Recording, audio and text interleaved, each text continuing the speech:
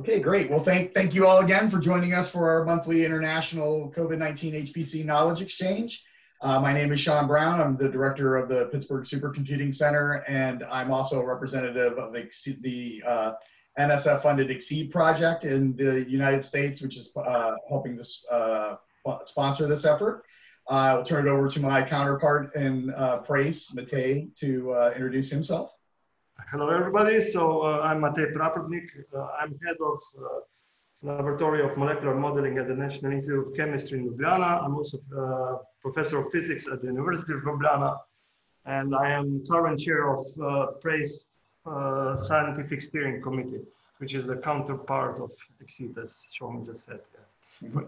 the other side of the pond. So I welcome you to this webinar, and I, I think that we today we have very nice updates Mm -hmm. Summer is over. and I see that we have been uh, that we are fortunate to have the the principal investigator of the XSEDE project uh, with us today, John Towns. John, do you want to say a few words? Sure, I'll just say hi to everybody. Um, I would really like this series of of, uh, of updates and discussions. I think it's been a little unusual in, in, in academic terms in many ways. So uh, and I look forward to hearing the updates. I think I may have heard from uh, Eve recently during uh, the, the webinar we did as part of the consortium. Um, I think that's a lot of very, very good work going on there. So I think everybody will appreciate hearing uh, what Eve has to say. Um, but uh, I, I, really look, I, look forward to the other presentations as well. I'm very happy to see this moving forward. Um, I think it's been a really nice thing to, to have come out of this. Great, Thank, thanks, John. Uh, and thanks for the support. Um, uh, just to let you know what the purpose of this is for the new the newcomers, we we organize this webinar series and the uh, information uh, exchange to foster collaboration between uh, researchers around the world doing COVID-19 research with high performance computing, uh, so that we can learn from each other, share ideas, and and exchange results. And that's sort of the the purpose of why we're here is to just to get together and and present what the work ongoing work that's been occurring for COVID um, uh, 19 research, and I, it looks like we're in it for the long haul. So uh, uh, we'll probably be having these for a long, long time. But it's it's always enjoyable to see all the beautiful research that's being um, done in in efforts to fight this disease uh, in, internationally. So it's a, it's always a pleasure to have this uh, webinar, and thank you for joining us. Um, We'll go ahead and get started with the presentations. Uh, our first update is from Eve Wurtele. I think I said the last name correct. I was for a long time saying Wertel, but that's probably because I was from Montreal, my French it's, language influence. It's uh. So I'll turn it over to you, Eve. You have uh, the ability to share the screen if you'd like. Right. Okay. Let's see. I share screen. Um, PowerPoint. Come on. And okay. Did, do you guys see that? Yep. Yes. Okay, good. Okay, so I'm going to talk about the role of ancestry in COVID-19 infection.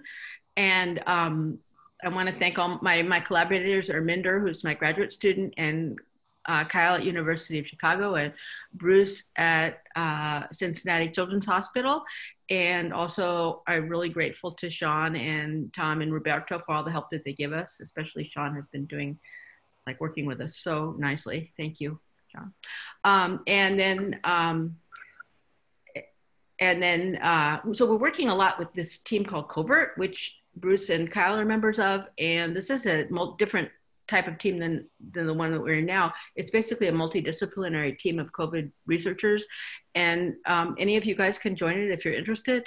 And the cool thing about it is, is that it's people um, that are clinicians and and uh, cell biologists and you know bioinformaticists, a whole range of different areas. And so if you're working on some kind of a of a computa- high high power computational project, you can find somebody if you can interest them they'll actually test it out in the lab. So i actually and, it, and they know all the stuff about human biology so it's really cool to work with them. So just i recommend it to anybody that is interested in getting some of their ideas tested out Oops, okay, here we go. Um, so uh, our project is really focused uh, predominantly on orphan genes, which are genes that are are novel. They have no detectable protein homologue in any other species, and um, they're referred to as orphan genes. And um, they're very under-identified because they have no they have no protein homologue. They don't really have any clear characteristics, and uh, some of them have been identified in every species, but we, we believe many of them haven't. And people are constantly identifying new ones, finding a new gene that's an orphan. Um, so these genes evolve in response to um, environmental shifts and they're constantly evolving. An organism is constantly being exposed to new environment. And a corollary of this is that genes in an organism will have different ages. Some of them will have evolved um, back in the prokaryotic days when everything was prokaryotic, you know, billion or so years ago, and uh, some will be very recent.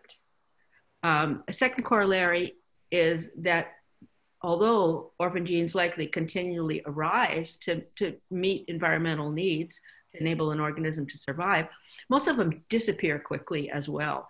Uh, so only a few of them get retained. And if this wasn't the case, we'd end up with genes having millions, uh, organisms having millions of genes in, instead of the maybe 25 to 50,000 genes that, that we see now. Um, so so uh, they, they have an outside role, outsized role in species specific traits. Maybe uh, about five or 600 have been characterized to date. I'll just give you one example, which is uh, jellyfish toxins. And when I say it with a plural, it's because it is a plural. So people identified a number, by looking at the protein, identified a number of proteins that, that the jellyfish produced as toxins. And then once sequencing came in, people started to realize, hey, these are really different among jellyfish species. And some of them are indeed orphan genes that have evolved newly. And it's this constant prey predator competition. Uh, a little jellyfish is all gooey and really would have nothing, you know, you think of a jellyfish as scary, but it's only because it has that toxin. Otherwise, it would be you know eaten up by all kinds of things and it wouldn't be able to catch anything so these it, these these having a unique protein that'll bind with the prey's receptor is totally um, necessary to jellyfish survival. So they're always evolving new ones to compete with the predators, which are all, always evolving new receptors. That's just one of like 500 examples. And in, um, in a whole variety of organisms, uh, different orphan genes combat diseases and stresses, and this includes in humans uh, as well. So our natural thought was, well, do orphan genes play a role in COVID infection? And here's a cell here. If you don't know what this is, I probably all you do. And these are the, the nasty uh, SARS virus. And um, if they do play a role in infection, um, can we use them somehow to, in COVID infection, can we use them somehow for precision therapeutics? So our hypotheses that we want to test are that novel or orphan genes will enhance our the prognostic signature uh, for COVID and reveal new aspects of, of uh, COVID 19 biology. And our second hypothesis is that gene expression will vary by ancestry um, and reveal aspects of COVID 19. So the idea here is if any population of any species is growing uh, separate from some other uh, population, it'll have diverse uh, uh, development of orphan genes to combat the different the different survival pressures in the in the different environments. And we know this is already true for maize. We've our lab has, for example, looked at in maize and in Arabidopsis, and it's definitely the case that this occurs in those two plant species.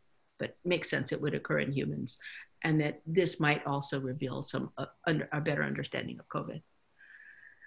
So the um, what we're looking at now is um, it, it, has to do with the fact that that African Americans are disproportionately affected. Uh, I think there's something something like actually six times more deaths um, per, per population um, from COVID 19. And the disease outcomes of any disease are going to depend on the external factors like socioeconomic for humans, anyways, and environmental factors, and the genetics of the organisms. And then gene expression itself is, is the interaction of the external with genetic factors. And so this interaction provides a snapshot, and RNA-seq you can think of a snapshot of gene expression. And so gene expression is actually a also a combination of the disease, the factors that determine disease outcomes. And uh, we've recently found multiple genes are differentially expressed in African Americans compared to European Americans, and other groups have uh, recently found this as well. Uh, so with the pipeline that we're um, making use of the uh, Pittsburgh cluster it on is um, is this. So we have a series of, of COVID uh, bulk RNA and single cell RNA studies, and as they released, we're feeding these into the pipeline. And we also have a set of of, uh, of data from about 40 data uh, conditions and tissues from these large GTEx and TCGA um, human data projects. This is normal tissues and this is cancerous tissues. And we'll probably end up with about 40,000 human species. And then um, we have a, a, processing pipeline. It's, I don't have the details here, but it's, it's, it's nice because it is reproducible it identifies novel orphan genes as well as annotated genes. So it looks at all the transcripts, it aligns them to the genome, and we get a good feeling for what the novel orphan genes are as well as, but we also get the genes that are known. And our goal is to get about, uh, for every sample of maybe 40,000 or so samples, we would get um, about, we're gonna get about 50,000 transcripts per sample identified and quantified. Um, so we're in this process of doing this. And um, in, in addition, we're gathering sample metadata, the information about each sample. So for example, did the person smoke? And all kinds of information like that. And um, we're also inferring the ancestry of individuals for which this is not present in the metadata. So some projects contain this information and some do not. So we're doing, for those that don't, um, we're we're getting this information as well. And then we're analyzing everything on our MetaOmGraph software, which is freely available for anybody. And what we want is new COVID genes for experimental testing and precision medicine. So we're into this pipeline. We've done the bulk RNA um, in terms of, of uh, completing uh, the initial transcriptome assembly, and we're going through the COVID infected individuals and single cell uh, data for COVID infected individuals as well. And what we do, the one thing that we find as, a, as we're looking at the non COVID data, which is what I'm going to show you right now, um, so is that if we look at genes, uh, gene expression across the two populations, um, we find that, that differential expression of genes is enriched in terms of infection, inflammation, and immunity. So here's an example, the thyroid gland, and if we look at the enrichment of differentially expressed genes, regulation of T cells, killing of cells of other organisms, antimicrobial humoral responses, and receptor-mediated endocytosis, and all these are associated with COVID infection. And these are all upregulated in African Americans compared to European Americans. Uh, we've also looked at the, oops, sorry, cell type specific responses. And um, so this is, it's kind of a complicated diagram here, but, but what, what, uh, what we did here was to look at, at, well, let me, sorry, I'm not, I'm trying to move my little pointer around and it's not wanting to move. Whoop. I don't know, what? I don't know why I can't move my pointer, but, um, so sorry I can't move my pointer, my arrow, but I'll explain it. So, so what what this is that what this is a heat map of gene expression. Uh, high expression is showed by a bright yellow color, and there there's a single data from single cells, and it's it shows the expression of of of various genes in a variety of cell cell types. And so there's B cells and two kinds of B cells, endothelial cells, there's four times of endothelial, two times of endothelial cells, epithelial cells. So there's a number of cells. And um, what we've shown here is the genes that are upregulated at, in African Americans versus, um, versus um, European Americans. And so if you look at the NMPs, uh, and you see dendritic NMPs, you can see that these are, are, are so these dendritic cells here are upregulated in the African Americans versus the Caucasians. And if you look at the glandular cells, which are thought to be you know, critical for infection and the site of infection, you can see that both the duct glandular cells and the, gland, the, the uh, mucus glandular cells are also upregulated in in um, African Americans. So it may be that the cells are more active in, in this ancestry, or it may be that there's more of these cell types because we don't really know these things, these information well. It hasn't really been looked at. Um, here's just another example. And then uh, our last example I want to show you is one gene that we've identified, which is called FAA2. It's a novel uh, gene that we, we predict affects COVID-19, um, and it's very much more highly expressed in African Americans than in European Americans. I still can't move my pointer. Oh, now I can. Okay, so you can see, for example, this most extreme example, it's 41 fold uh, more highly expressed in African Americans than in European Americans here. So these are African Americans and these are European Americans. And it's the violin plots. You can see it's really pretty significantly more expressed under all these conditions, actually under every condition that we've looked at. And um, this gene is involved in uh, processing of, of the uh, processing and development of the uh, and, and, during endocytosis and the early endosomes and this process is basically how most covid seems to get we think most covid gets into the body.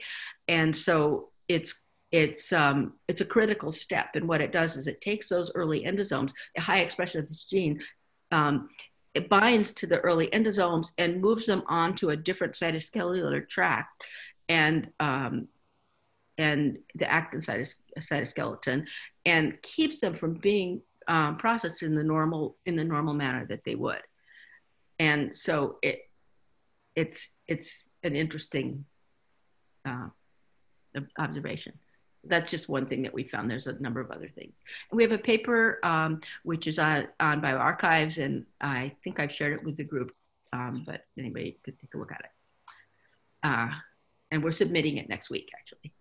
Uh, I just want to mention finally that we need better, better metadata for human samples. Maybe most, most of you aren't really involved in this kind of a thing, but if you ever, if you ever get involved with it, one of the things that, that really is lacking in our ability to under, to identify um, processes that are that are important in, for example, different ethnicities or, or in, in smokers versus non-smokers, all kinds of any kind of a of a of a covariate within a bunch of data is metadata about that.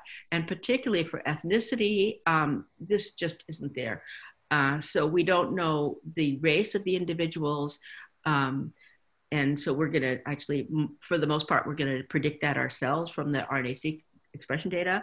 And we also don't know anything about their socioeconomic conditions. We don't know zip code, income, educational level, profession, any of those kinds of things, which are essential to be able to tease apart the effects of genetics from the effects of environment. And this is really critical um, to, to in, other, in, in order to understand how COVID can differentially affect populations. Um, so our research is in progress. I think I've gone through all these.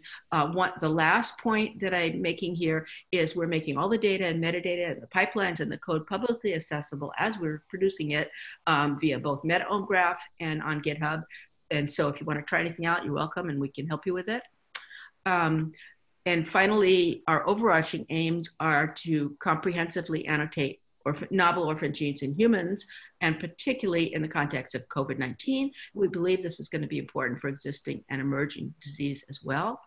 And we want to provide these data as a resource to medical researchers uh, as predictive markers, oops, predictive markers of disease susceptibility for precision medicine for different populations, and um, undiscovered genes that can be experimented on directly to determine their efficacy as therapeutic agents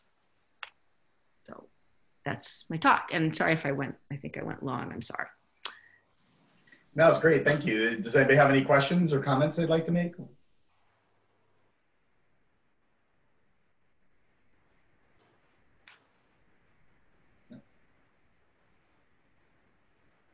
Okay, well, th thanks, uh, thanks Eve for the presentation. That was really great. Um, uh, we'll go ahead and move on to our next uh, presentation, which will be from uh, Rommie Amaro. Um, I didn't have time to get everybody's credentials put into my my script. So no credentials. Uh, you can tell I appreciate it. I'm sorry. uh, I'm very. I'm host, and I apologize. no, no, no, no, no, no, no. It's all good. So, um, hi everyone. I'm Rommie. I'm a professor of chemistry and biochemistry at UC San Diego, and um, I'm going to give an update about our work in SARS-CoV-2, uh, with the that's really relied heavily on the consortium computing that has become available. So I was trying to um, keep this to about five to 10 minutes. So I'm gonna go pretty quickly through this, but we can, you know, you can ask me whatever questions you want. So can, hopefully you can see uh, my presentation. Yeah, I got some nods, good. Okay, right, so, um, so we, in my group, we're doing a lot of all atom molecular dynamic simulations on different components of the spike, of, of the SARS-CoV-2 virus. And so just, I think probably most of the folks on this call already appreciate a lot about the structure of the virus, but just to sort of ground us in what we're doing, we are, so this is a, this is sort of a, a rendering of the SARS-CoV-2 virus. It's a lipid enveloped virus and it has these so-called spike proteins coming out of it. So it's the same protein with maybe, you know, roughly on average about 50 copies of this protein uh, on its surface sort of decorated around it. Um, and basically what we want to do is use simulations to understand the details of this molecular machine, uh, including all of the glycans and so forth that it has on it, and then try to also we really understand its dynamics. And so one of the, you know, these, these viral glycoproteins are really fascinating because they undergo um, a really huge set of conformational changes as they go through the fusion process with the host cell. And so um, what we've been really interested to do is just get a better understanding of sort of some of the initial states of what this spike protein looks like, as well as sort of its initial encounter with ACE2 um, also. So I'll tell you a little bit about the work that we've been able to do so far. Okay, so um, I think many of you know that um, what we've been doing is uh, and where these simulations are actually useful, right, is that, um, you know, we have these fantastic uh, techniques to acquire or resolve uh, biological structures. And cryo-EM has given us these really wonderful views of what the spike protein looks like. Um, but they've been pretty limited in the sense that uh, because of the way that they uh, sort of refine their data, they give us a, they can give us a picture of the what I call the spike head, which is this part that I've outlined in yellow.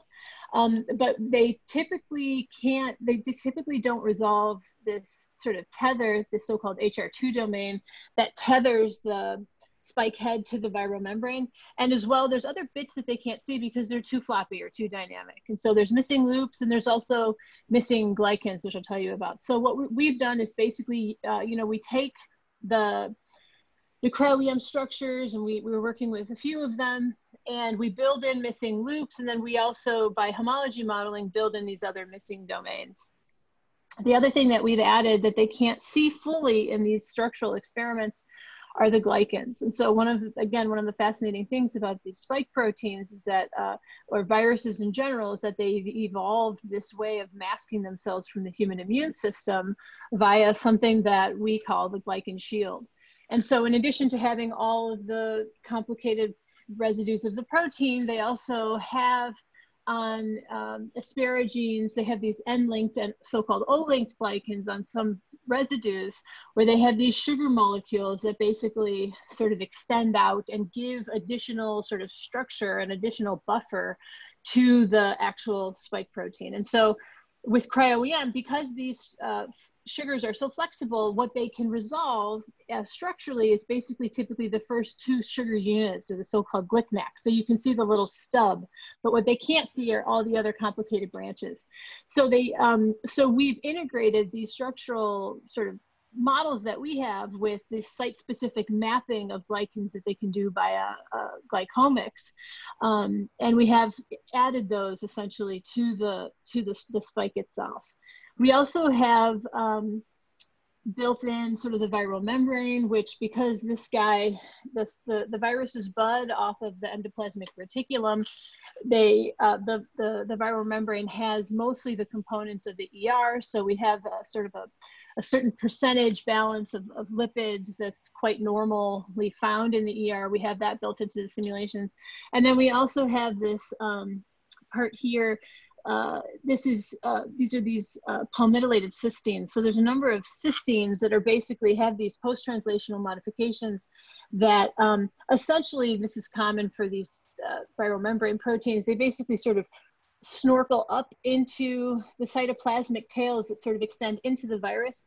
These uh, groups basically um, snorkel up into the membrane and keep these guys sort of footed in the in the membrane. So we have that too. So this is basically just a movie of what the full structure looks like. So we built in all of the different domains that are there giving us sort of a complete picture. Um, uh, of the virus we we have the we have multiple states so in this case we have the the rbd up state so this um, I'll tell you more about there's some conformational changes. And then we also have all the glycans going the full length of the protein. Again, as I mentioned, we have the membrane and the palmitoylated cysteines. And then this is sort of what the full structure looks like when it's fully decorated. And then um, what we've done is we've been able to use um, Frontera to uh, sort of animate or you know predictively sim to simulate the atomic level dynamics using sort of very conventional all atom MD and we get this sort of picture of how this protein is sort of moving in terms of its baseline dynamics. The system has about one in 1.5, it has 1.7 million atoms, and we have um, created different copies, so, or different sort of, we have a couple different um, conformational states. So we have the so-called RBD down as well as the RBD up. So these are different states that the cryo-electron microscopists have trapped the protein in, and I'll talk a little bit about just very briefly about some of the um, the dynamics of that. So you can see some of the stats here. For we use the term force field. Um, we're getting about 60 nanoseconds per day on 256 nodes on TACC Frontera and uh, generated about four microseconds per system.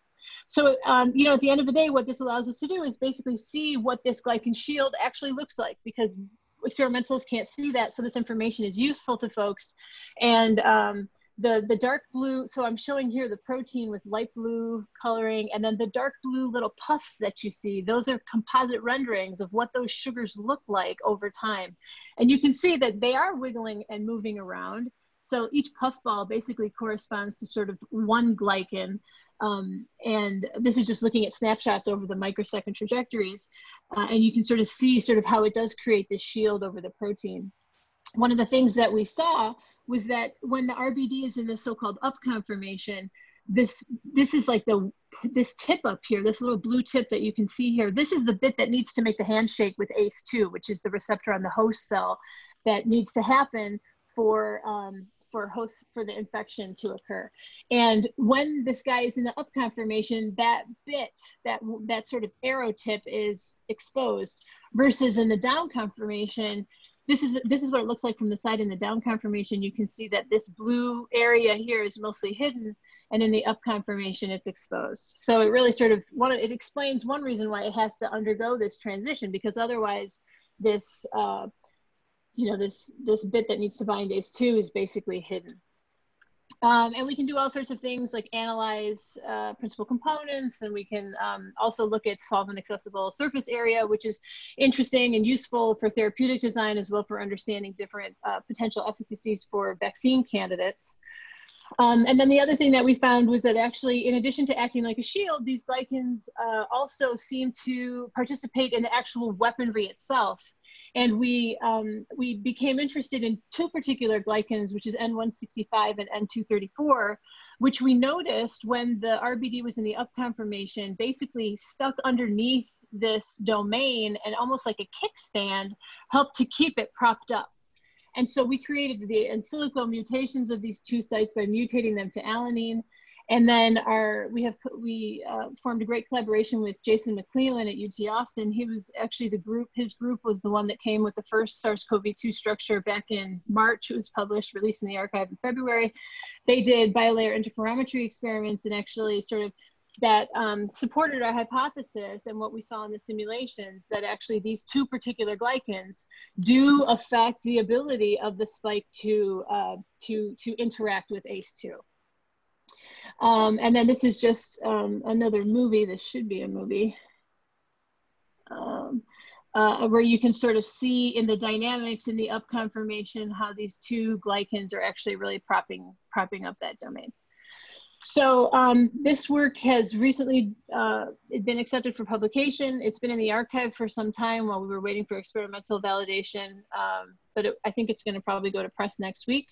Um, and then I'll just say in the last minute, since then, what we've been doing in a collaboration with Lillian Chong, um, we've been working with the weighted ensemble method, which is, um, it's a way of basically uh, using many short simulations and some clever sort of, in some sense, reweighting schemes to, um, to sort of accelerate sampling without a bias.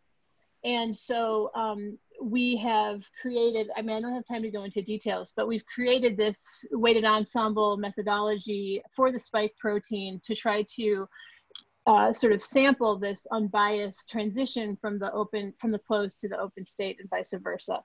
And so the system that we did, we chopped off, we just worked with the spike head, we chopped off all the bits underneath. So it has about 600 million atoms, or 600, no, not 600 million, 600,000 um, which is still the largest system by about an order of magnitude that's been used with the weighted ensemble method. So this was cool. They were excited to test this. We did our initial runs on Comet, um, which was awesome using their um, their P100 GPUs. And then we've had to extend those initial runs uh, for sampling purposes. We've done that um, on Frontera using NVIDIA V100 GPUs. We've been able to get aggregate sampling of about 100 microseconds of actual simulation time, which in weighted ensemble approaches is probably equivalent to about tens of milliseconds. Um, and the data, I mean, I will say that the, the, the, data handling for this particular set of methods is pretty challenging. We, we have at least 40 ter terabytes of data with compression, and that's just the protein throwing away all the water. So it's a tremendous amount of data that we're now sort of uh, going through. Um, so you have to define something that's called a progress coordinate, which is basically just a way of how you sort of watch this transformation happening. We did that with two different uh, two different components, and we've been able to, um, to, to, to actually achieve full unbiased sampling of the pathway. We have um, actually over a dozen of these uh, spontaneous transitions um, going from the closed uh, to the open state, and you can sort of see there uh, sort of going through the motions. And so we're in the process of analyzing that right now. And then I just want to say, uh, I think almost every person on this call probably signed this this letter that um, that we as a community put forth in JSIM. Gosh, I don't know when that was. It might have been in April, early April or March. Um, and all of the data that we've been generating, and I know many people have been has been put onto this uh, wonderful site, uh, this COVID MOLSI site. Uh, and so anyway, all of the data that we have will eventually be linked to there. our spike trajectories and so forth are going up next week. So that's the update from us. Um, I'd be happy to take any questions. I probably also went way over time and I'm sorry if I did.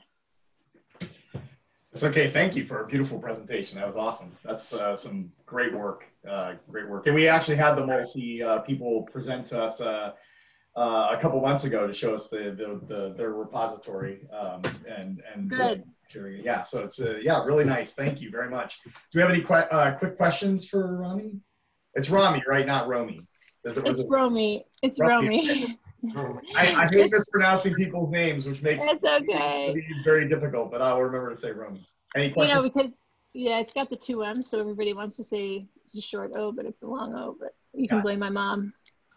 Fair enough. Any questions, anybody? Or you know, I'm always available for uh, questions afterwards. So, I have a question about, oh, go ahead. Yeah, so th this is Bob, Bob Stenquist in San Diego. Hey, Romy, great talk as always. Bob. Hey, quick question about the glycosylation. At a, at, at a particular glycosylation site, is it always the same glycan or can there be variation in what's linked at that site? Yeah, so um, that's a great question. So there can be variations. So this is one of the really interesting things about glycans is that um, they're complicated. And so uh, they're, each glycan site has a different propensity to be the same or different, you know, or it has a certain profile. Um, and so some of the sites, in particular, like some of the sites that we mutated, are really highly conserved, and like there's always either a, a, one particular type of glycan. So other sites are more variable. So what we did when we set our simulations up is try to obey those experimental constraints as best as we can. And um, so if there was a propensity for a particular site to have some variation, our way of handling that was to because um, the spike protein is a homo trimer. So it's got three of the sort, sort of, it's got these three 1000 some odd residue segments. We basically, so, so there were basically three copies of each glycosylated site in the single protein. And so for sites that had a lot of variation, we built in different glycans that still obey these experimental sort of constraints, but um, with some variation in each of the copies. Does that make sense? Or in each of the each of the um absolutely. Wow. So this goes from being a hard problem to a really, really hard problem when you take into That's why we yeah, have computers. yeah, yeah. I mean, yeah, the computers definitely help with this. Uh, yeah, and just one needs to be a little bit careful with exactly sort of uh, how you analyze and you know sort of the claims that you make based on the system that you construct. But um, you know, that's the other reason why it's actually really good to have multiple models. You know, I know uh, Gerhard Humer has created a model of the spike that's beautiful um, that was published in Science recently, and they have a slightly different profile than ours. And I think, you know, there probably many groups that have these types of uh, differences in the models. And now that we're sort of, we can all collectively look at and learn from this data, which is, I think, going to maybe hopefully also be important. Great, thank you. I have a question, Rami, about when, like, what's known about when these glycosylations and, and acylations occur? And, um, and where, and is it in the cell or apoplastically or? I think it's as it's coming off of the ER, that it's happening sort of in concert with folding, um, is my understanding for most of these post-translational modifications. Are people looking at using some kind of therapy that alters that? Um, you know that I know there. So there are. I mean, I would say that the the whole field, the field of glycan scientists, glycochemists, and glycobiologists is is terrific. Um, you know, there are limitations. I think potentially to what we could do there because a lot of our own endogenous proteins need to be glycosylated and so forth. So it becomes this challenge of you know being able to modulate and manipulate the glycan profile of the virus without affecting what we need for our own ongoing health. Uh, so that challenge will be there. Which is really true about any medicine, just about. That's true. That's, that's true, but I hate oh, sorry, yeah, we gotta go. short just because we have three more people that like to give updates and I want to the time. But no, no, no, no, no apologies necessary. But uh, uh, thank you, Romy, for a great presentation. I'll, I'll turn over to, um, uh, do you have the list, Matej? Do you, or do you need yeah, to? Yeah, do it. So, okay, so let's turn over to Matej to introduce our next couple speakers. Yeah, so the next speaker is Vangelis uh, Daskalakis from University of Cyprus. Please, Vangelis. Oh, hi. Hello. Good afternoon. Hello. It's uh, actually Cyprus University of Technology, not University of Cyprus, but it's okay. Yeah. okay. So uh, you don't see me, but okay, I'll uh, share my screen now just for the update. Okay.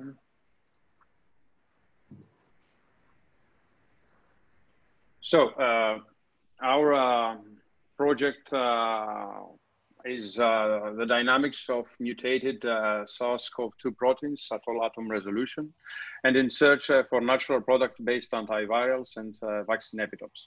So um, I'll show you some things we have uh, uh, found up to now and what we've done so far. the team is from Cyprus University of Technology, myself, and University of Crete, uh, Professor Elias Kastanas, uh, Mr. Athanasios Panayotopoulos, Professor George Survinos, uh, Mrs. Danai Kojabasi, and from uh, the University of Crete and the Department of uh, Biology, Professor Sterios uh, Pyrintsos. So we collaborate on this project. so um, these are the SARS-CoV-2 proteins. up to now, we have concentrated our efforts to the 3CL Pro, the proteinase of the main proteinase of the virus, uh, which cleaves the polyprotein into 11 different functional proteins. Um, uh, it's a dimer. There is a mistake here. It doesn't bind to importins. That's the next protein that it's by, it binds to importins, the nucleocapsid protein. That's our next target, which binds to importins and packs and imports SARS-CoV-2 viral RNA into the host cell uh, nucleus. So these are these were our uh, targets so far. Um, uh, we have focused on MPRO and nucleocapsid. We have screened a large database of natural products to find potential uh, functional inhibitors.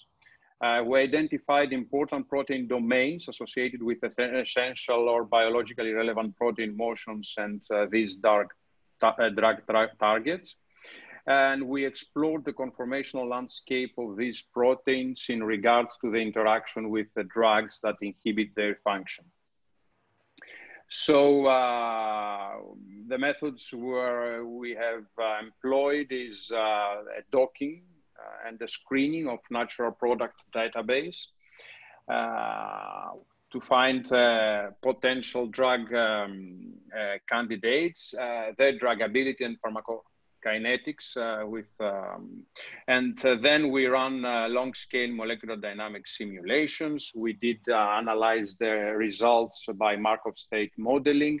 We identified the conformational phase space variables based on a method called time structure independent component analysis, which finds the slowest motions in a protein. So it uses a rather short uh, and multiple short trajectories in, uh, of the protein and uh, extrapolates their long time scale behavior. We employed also parallel tempering metadynamics at the well-tempered sample to see the conformational landscape of these proteins in the presence of uh, the drug.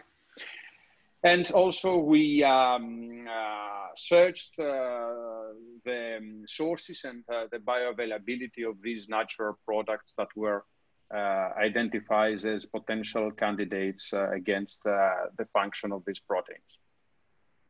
So this is the nucleocapsid protein. This it looks like this. We found that a certain natural product called uh, P-Simon uh, can uh, interact with this domain here, the C-terminal domain. Uh, important residues in the interaction are all these listed here. Uh, then the same thing happened with the 3CL Pro, the main proteinase of the virus. And we found that a certain natural product called fortunelin, which is found in a certain fruit called kumquat, is also a potent uh, drug candidate against dimerization, dimerization of uh, this protein.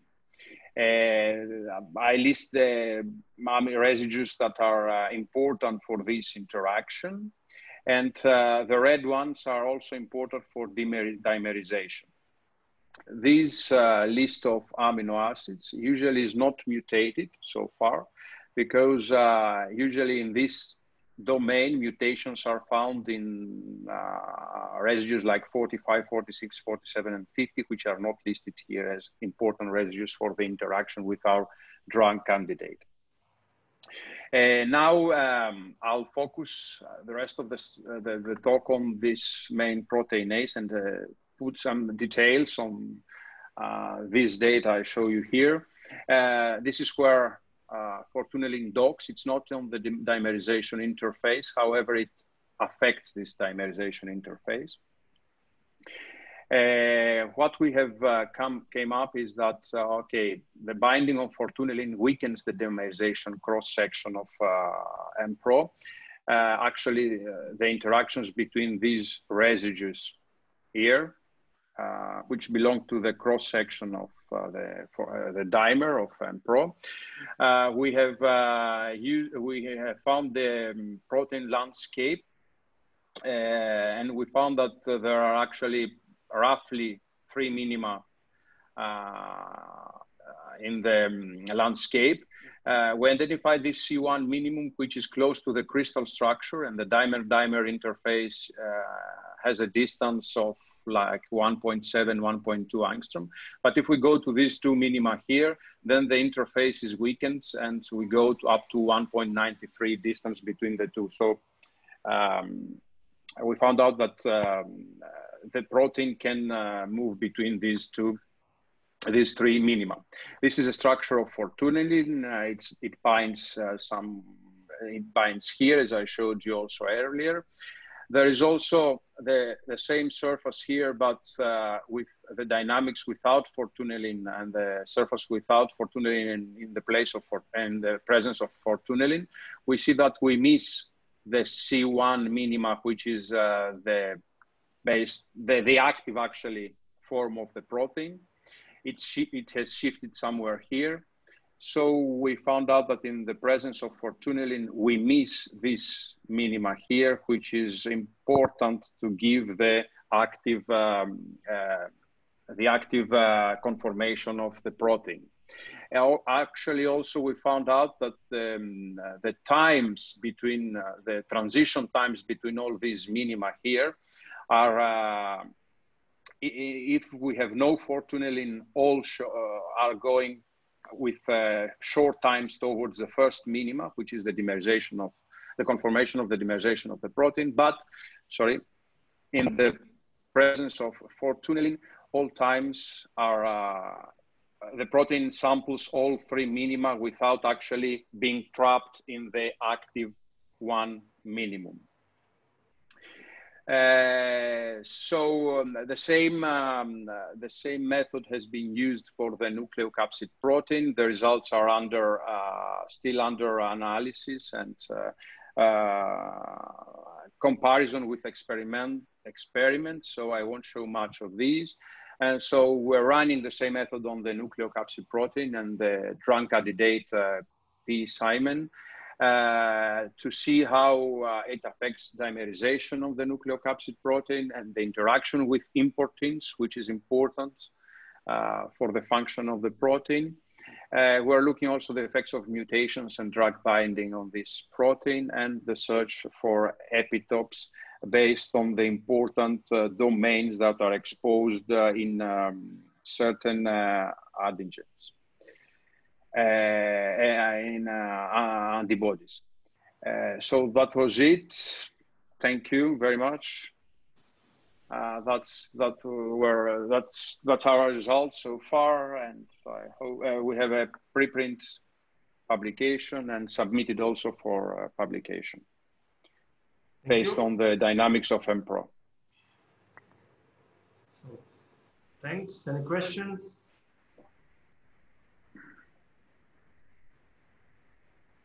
So this you put on the preprint server already on, or you intend to do that? No, no, it's already there. It's already there. Yes. Ah, okay, yeah. Great. Mm -hmm. So if there are not no other questions, uh, we can still put the question to the chat and we move on yeah. because we're somehow in a hurry. Um, we have almost, okay. uh, just I forgot, we have almost 90 microsecond of enhanced sampling uh, simulations on MPRO. Okay, great. Uh, and uh, you didn't encounter any problems? Uh, with the MPRO, no. With the nuclear capsid, yes. It's a little bit, uh, it's a huge protein, so we have to sample all the parts of the protein and all that. Uh -huh. But we're still working on it. Yes. Okay, so thank you very much. Uh, let's move forward. Uh, so the next speaker is uh, Francesco Gervasio. He recently moved from UCL to University of Geneva. I think that I'm right now. Hi, I'm Francesco. Uh, yes, no, I'm still a professor at University College London. So yes, now I'm professor in London, professor of chemistry, and in Geneva, professor of uh, pharmaceutical chemistry. So today I have uh, two updates about two different projects. Uh, let me see if I can share my screen. Okay. I hope you can see it. Is it um, start the presentation. Right, and okay, this should be fine. I hope you can see it. Mm -hmm. So basically the first part, uh, it's about uh, uh, targeting the interface between uh, the spike and the ACE2, which is uh, one of the main protein uh, that the, the virus uses to enter the cells. So this is a um, collaboration with various people, in particular my, with my colleague Josep Beider and Flemming Hansen, who will do the NMR, but also with Stefano Piana and Michael Levine from this show DeepMind, and various experimentalists. So what's the idea? So you've seen in uh, the beautiful movies uh, from Romy that basically when uh, the spike is in this up conformation part of it, which is this green fragment. this is a movie from an actual simulation that was put, made available by this research, interacts with the ACE2 receptor. So our idea, and that we started with this uh, several months uh, ago, was to extract uh, the main uh, helix at the interface uh, with the spike, with the, binding part of the spike, stabilize it, so try several designs, and to have something that binds potently to the spike. Why do we want to do this? Well, you know that there are several antibodies that are being uh, developed uh, for the spike. The problem with antibodies is that they are large, they're not very stable, and they have a few binding sites uh, uh compared to the very large weight. Moreover, they can also uh, lead to adverse antibody triggered effects. so the idea is that if we have small peptides, this might be a better way to, to, to block the, the viral infectiousness, but also this could be a very nice tool to uh, basically um, join together with nanoparticles uh, for, for deliveries of uh, other drugs. Um, so our approach for this, and this started with uh, Josep Beider, my colleague at UCL, and my student uh, Yannis Galdadas, uh, was to look at this interface and start first uh, taking these uh, two helix, helices and a small helix in the back and rationally try to rationally design uh, a better binding. So we consider constructs which are, which are three helices uh, or two helices, and uh, um, we used two different methodologies. So one was to just extract uh, the wild type uh, helices and use uh, systematic free energy calculation. And this is with, uh, with a nice new uh, methodology developed by Michael Levine at tissue research to systematically stabilize the, the interface and also add some um, further um, stabilization at the interface between the, the, two, the two helices.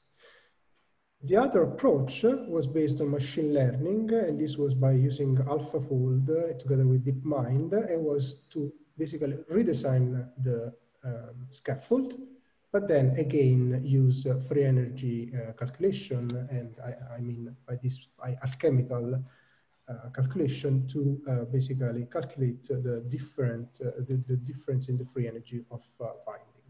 So the idea is to try to do this rationally.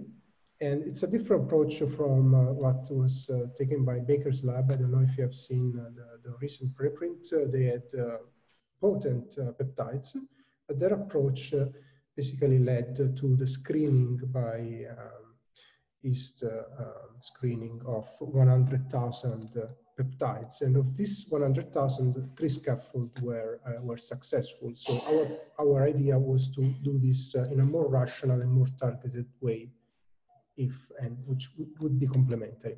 So uh, first uh, we, we did some uh, stability analysis by doing very long uh, simulation with, uh, with different force field. So a different force field, I mean uh, here um, CHARM 36M or December.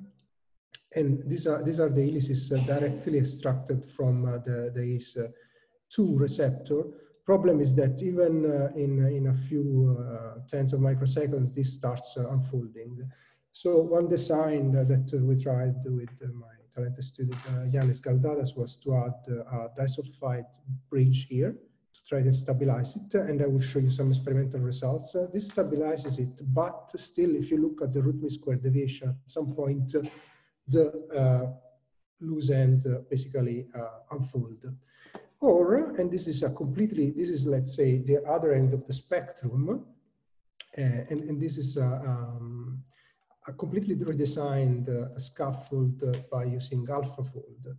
So this uh, simulation were done in collaboration with Michael here. Once uh, we did this simulation, we took uh, the best design with my, my postdoc Ladislav Bovan shown here, and we calculated the, the, the, folding free energy landscape. So what are these simulations? The simulation are multiple replica metadynamic simulations. So we have six replicas with two collective variables that in other uh, peptide cases uh, were shown to, to, to, work. One is the distance from the native content map and the other one it's uh, the content, alpha helical content. And you can already see uh, as uh, basically was hinted by the long uh, MD simulations that if you look at the original peptide, this is the two helices and the small back helix, which we called A1, A2, A3. So basically this is a wild type uh, peptide directly extracted from maize. You see that basically it tends to unfold. Um, basically the, the, the, unfolded and folded state almost have the same free energy, but also uh, some states which uh, lose uh, the helicity are populated. While some of the design where we stabilize the backbone have a much deeper uh, folded uh, state, free energy state for, for, the, for the state. So um, we started doing uh, experiments.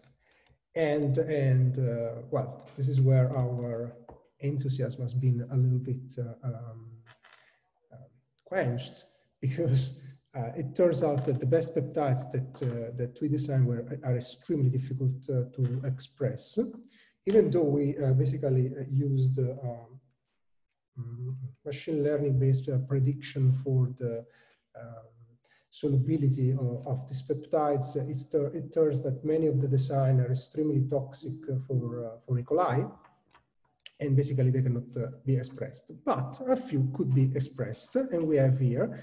The few that uh, could be expressed uh, so far are those that were predicted to be uh, not very stable.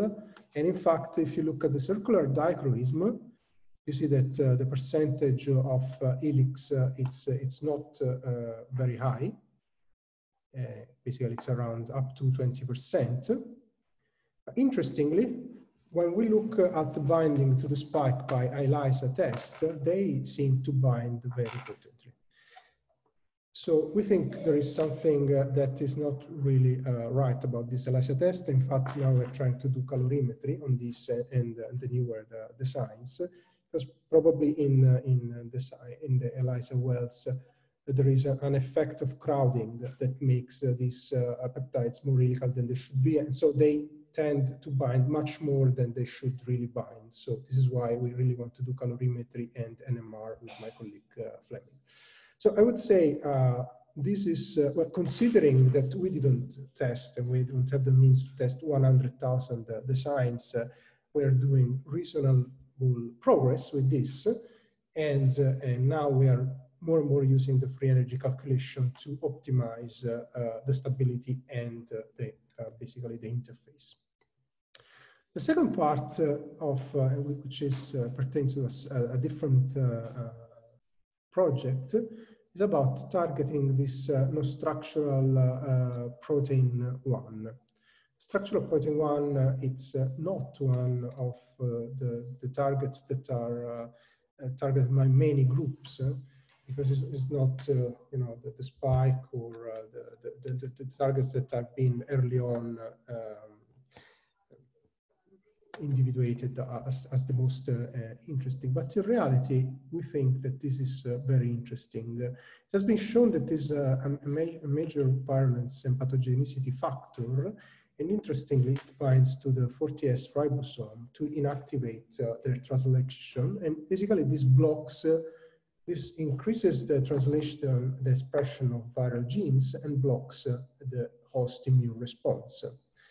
So this target could be interesting to use, for instance, in a combination uh, viral therapy. NSP1, but, but it, it's really difficult to, to, target because the, the compact and well-folded part apparently does not have any drug binding pockets. As you can see here, basically there, there aren't big uh, cavities. But uh, as uh, some of you know, uh, my group has been studying for a number of years uh, the, the, the, way of exposing cryptic binding sites, and this is what we are doing for this target. So what is a cryptic binding site? Cryptic or hidden binding sites are not visible in uh, protein targets crystallized without a ligand. They only become visible when uh, you uh, bind it to, to a ligand.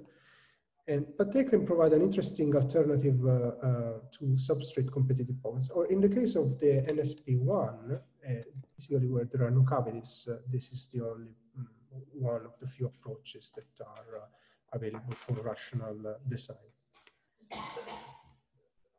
here I show a few examples of known cryptic site. This is the TEM1 beta lactamase, interleukin 1, PLK1. So we designed a computational approach that, and we worked on several uh, different uh, targets. I, I, will show you in a few slides what is our approach and then the result on, on COVID, on the COVID target. So if you run uh, simulation of uh, your target. This is the case of TEM1 beta lactamase, but it's the same for uh, NSP1. If you look at the exposure of the pocket, here it's in a percentage, uh, the water exposure of uh, the um, cavity lining uh, residues. You see that in a long trajectory, this is one microsecond, and then several others starting from the final point basically the, the cavity for this TEM1 almost never uh, happens. And this is true with different uh, force fields. So we have looked this with, with several different force fields. So uh, if you project this as a violin plot here, basically the violin plot uh, has the, let's say, belly here down where the pocket is closed, so around 20% exposed. So we reasoned that there must be uh, an important uh, um, inducive fit effect in these and other, and other targets. Conformational selection can be still important, but at least inducive fit uh, plays a role for, for beta lactamase. So if you run, for instance, uh, in this case, uh, several uh, different trajectories, these are independent molecular dynamic trajectories of 100 nanoseconds each, without, uh, with just pure water, the cavity never opens. If you have benzene, in some of these cases, it opens up. And if you do one microsecond long simulation with benzene, you see that in several of these independent runs, uh, you see the opening of the cavity for beta-lactamase. So there is some induced fit effect.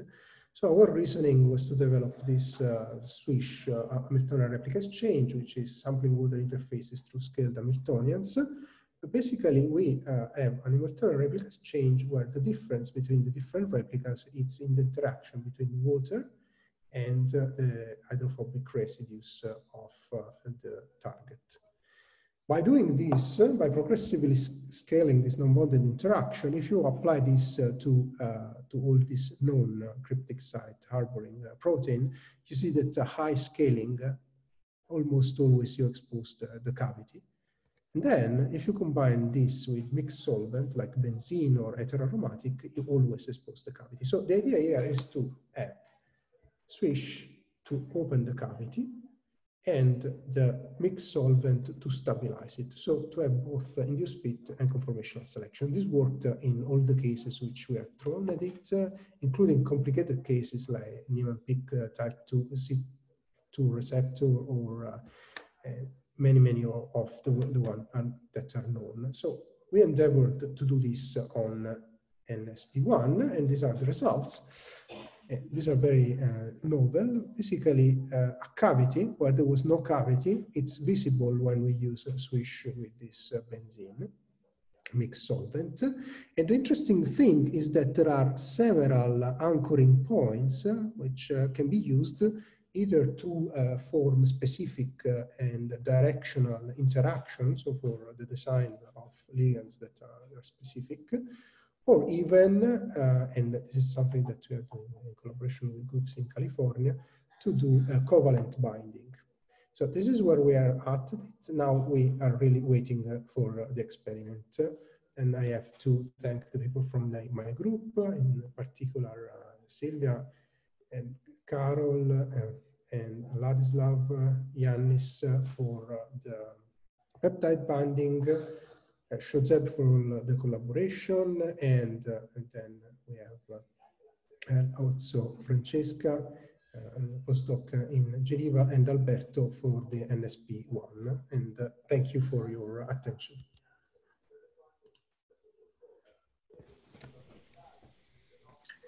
Great, thanks, thanks, Francesco. Um, I think in the interest of time, we may just forego questions because we have one more presentation and we're, we're already over uh, over time if that's okay. But you're welcome to continue the discussion on our Slack channel and uh, ask questions in the chat window if you're, sure. if you're, Thank you for a very beautiful presentation. Appreciate it.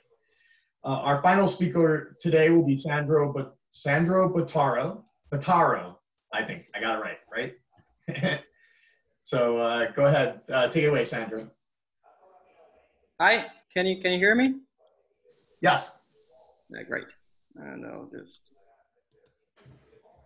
So uh, I will tell a little bit about what you're doing from the RNA side of COVID. And um, so the SARS-CoV-2 genome is about 30 kilobases long, and it's a single-stranded RNA. And at the five prime end and the three prime end of the genome, you have two untranslated uh, regions. And these regions are short compared to the rest of you know, the genome, but they're involved in replication, transcription, and packaging.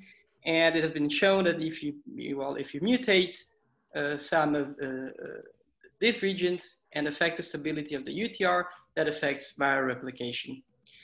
So that's sort of why people have been uh, looking at, at these two regions. And here on the left, you can see the five prime end UTR and on the right, you have three prime end UTR. And it is known to contain structural, conserved structural motifs, and those are mostly stem loops. SL1 is stem, stands for stem loop one, stem loop two, and, and so on and so forth. The secondary structure of some of these is known, and it is also known that some of these elements, they fold independently. And this is mostly known from uh, SARS-CoV-1. And in fact, there are only two uh, PDB structures from the, the uh, non-coding regions here, and one is located here, this SL2, and the second one is this apical loop at S2M. And these are you know, almost completely conserved also in SARS-CoV-2. So given the importance, people have been starting looking at, at it and saying, well, what is the structure of these elements? And uh, maybe some parts are not structured at all. Uh, they're known some, somehow to bind to proteins, how uh, that's, that's all unclear. Uh, so this is some of the questions that we are addressing as a part of this consortium, which is called uh, COVID-19 NMR. And essentially, um, most of the people are uh, NMR experimentalists, and uh, we're doing some modeling of some individual elements. And here, I will just show you some of the results we obtained looking at one of them, which is SL2. And it's this short stem loop here. And we chose it because it's relatively simple. And there is this PDB with the same loop sequence. So there's a little bit of structural data uh, already available. Uh, as I said before, uh, there is no, uh, in general, we don't, we do not expect to have structural data at all. So we need a, well, a starting confirmation at least. And given that the secondary structure of this RNA is known, then we came up with this uh, uh, simple procedure by which essentially we start an MD simulation for a completely extended elongated conformation. And then we generate an A-form RNA template. And then we simply pull. So we do it many, many times. And essentially what happens is that we can end up with a uh, a pool of structures. And uh, this pool of structure, they have the same, the same stem conformation, more or less, but a different loop. As I mentioned before, in this case, we do have a PDB to look at. And in the PDB, we have this interaction between these two. And one question that you can ask is that, well, is the structure somehow in this bundle? And here the figure is a bit messy, so you can look at this on, a, on this uh, plane, where essentially on the x-axis you have the distance from the PDB, and on the y-axis you have the distance between these two bases, so C7 and G10.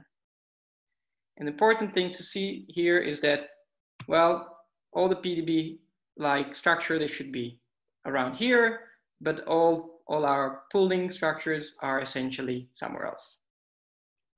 So we said, well, perhaps it's a, it's, it's a problem of sampling and therefore uh, we need to sample more. So we resample essentially only the um, loop region and we do so by using essentially par partial tempering uh, where you have two regions, one, one cold and one hot. And in the hot region, uh, you accelerate the sampling by, uh, by um, increasing the temperature. And then you do it in such a way that you have one unbiased replica where you can collect uh, uh, uh, um, statistics. So the resulting, the result of this procedure is, is essentially a free energy landscape. And here you can see, you know, it's rather different from what you can see from the red. And the most important thing to see here is that you have one global minimum free energy located here, and it roughly corresponds to this structure, which is remarkably similar to the one you would expect uh, from, from experiment.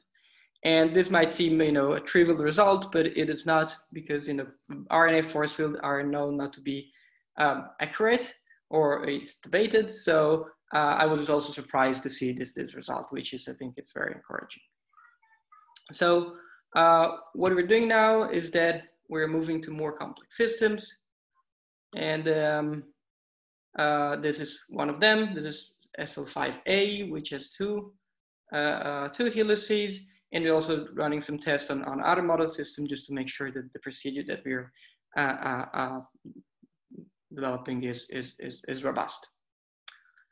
Uh, well, in essence, of our goal in some sense is to come up with an MD-based procedure to help experimental structure determination. And the first step, we generate 3D structure with a given secondary structure. Then we try to do exhaustive sampling of the flexible regions. And uh, the other thing we would like to do, actually, we're planning to do is to integrate the NMR data we get from the consortium together with the MD a posteriori using our um, reweighting uh, method. And also in some sense, the output of all these steps is different conformational ensemble, uh, which of course, you know, the more, you know, each step is more and more and more difficult or, or take more time uh, and data, but then in principle, they should be also more accurate. Um, the goal, which is not something we're working on at the moment, but uh, this is one of the final goal, is the chance essentially that uh, where one, once we have these ensembles, we can do ensemble-based uh, drug design. And uh, with this, uh, I'd like to thank uh, Kresten, who's, uh, you know, um, we're working together with him, and we're also working together with Giovanni Bussi from SISSA that helped us setting up the simulations. And thank you all for staying here with me. Thanks a lot. Well, thank you very much for coming and uh, giving us an update. That was really great. Um, any, uh, again, if there are any questions, I think in the interest of time, uh, feel free to uh, engage on the uh, Slack channel and uh, continue the discussion. I want to thank all of our speakers for giving us a, a great updates, all, all the great updates today. This was really wonderful, and I already see people passing emails in the in the uh, Zoom chat trying to, uh, to, to to talk about the the uh, the research uh, after the fact. So that's that's great. Our next webinar will be on, I believe, October 8th. Uh, I already know that we'll be getting an update from Ola Saisea from CMU about his work, and we'll be looking for other contributions if anybody would like to give a uh, presentation. So thank you all very much for joining, and please stay safe and have a great a great September. Thank you. Thank you. Bye. Bye. Bye-bye.